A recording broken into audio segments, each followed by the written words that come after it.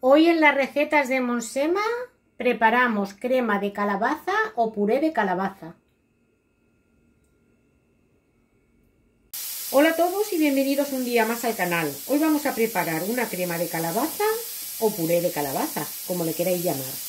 Perdonad por el ruido, pero es que tengo la olla express con el caldo de verduras y, y por eso ese ruido. Bueno, los ingredientes que vamos a necesitar son media calabaza cortada, dos zanahorias, boniato o patatas. Yo aquí tengo un trozo de boniato.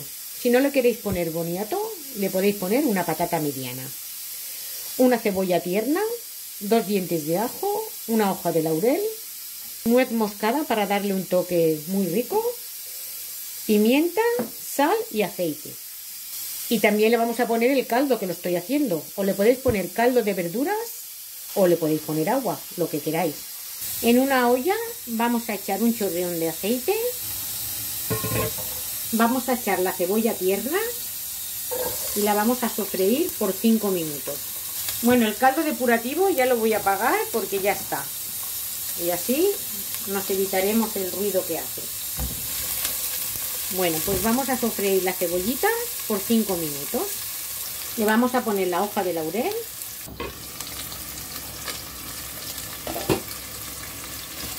A continuación vamos a echarle los dos ajos y lo vamos a saltear durante un par de minutos.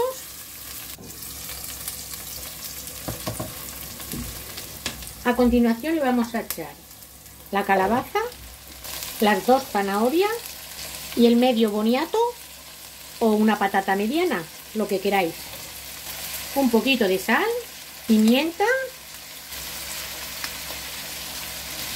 y vamos a saltear por 5 minutos que vaya cogiendo todos los sabores. Le voy a poner un poquito de nuez moscada. La nuez moscada le va a dar un sabor muy rico a la crema de calabaza.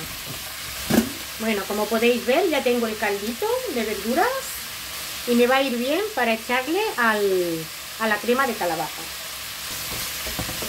Bueno, ahora que ya llevan salteándose las verduras 5 minutos, le voy a poner el caldo que cubra.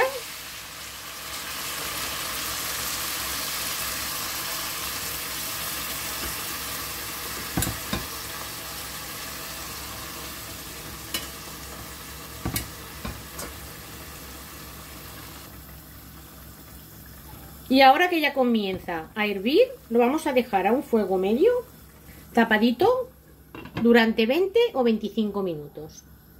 Mirad, se tiene que ir haciendo a un fuego medio y poquito a poco. ¿Veis?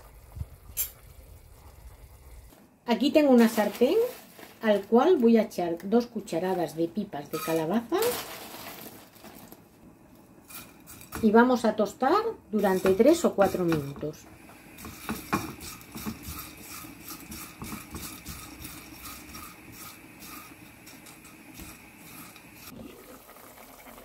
Bueno, las verduritas ya las tenemos tiernecitas y ahora vamos a pasar a triturar.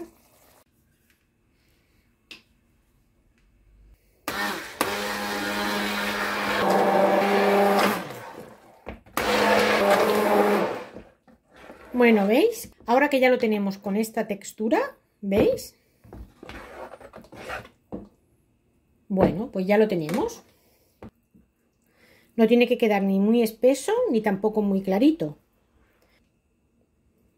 Bueno, de sabor está espectacular, muy rica.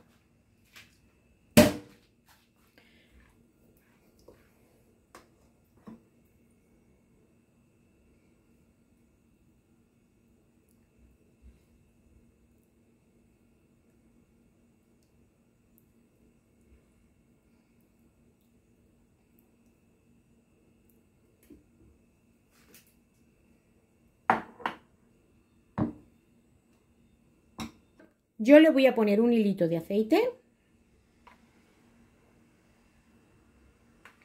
Y las pipas de calabaza que la hemos tostado, se la vamos a poner por encima.